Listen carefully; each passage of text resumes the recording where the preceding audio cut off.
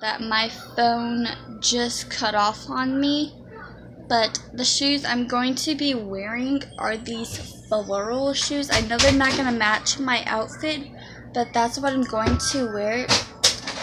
Allergies suck. Um, and then his diaper bag that I'm going to be bringing with me is this backpack that you normally take to school.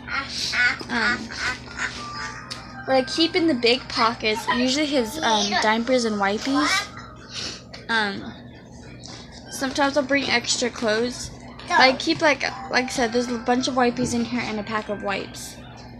But I will usually put like some of his toys and some of his extra clothing and and in the small pocket I'll put like my phone and my wallet because that's the only thing I put in my front pocket and then I'm gonna be I have to take down that car seat up there and I have to bring his stroller. So yeah. Um, I hope you guys like this video. Make sure you like comment and subscribe. Short sorry it's a short video but I'm very excited to go see my baby um, I did do a poll on Instagram for Team Boy, Team Girl. You can also comment down below my YouTube channel what you think I'm going to be having. A lot of you guys said girl, and three of you guys said boy.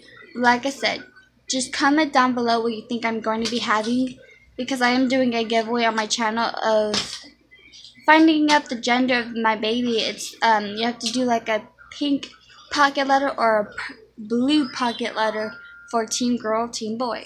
And the way I find out the gender is the way I'm going to pick randomly, see who wins my giveaway, because I'm going to be giving away some lots of arts and crafts stuff to you guys. And if you guys do like that arts and crafts stuff, make sure you enter.